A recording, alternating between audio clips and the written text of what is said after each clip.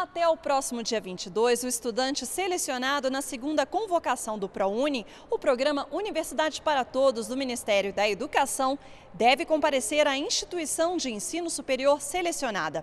Lá, ele deve comprovar as informações prestadas no ato de inscrição, fazer a matrícula e, se necessário, participar de seleção própria da instituição.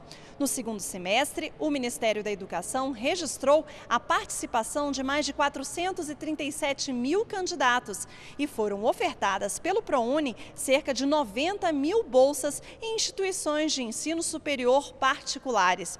Caso o candidato tenha ficado fora das duas seleções e ainda queira pôr o nome na lista de espera do programa, basta fazer a adesão entre os dias 26 e 29 deste mês online. Para mais informações sobre o cronograma e sobre as seleções do ProUni, acesse o site do programa na internet. De Brasília, Daniela Almeida.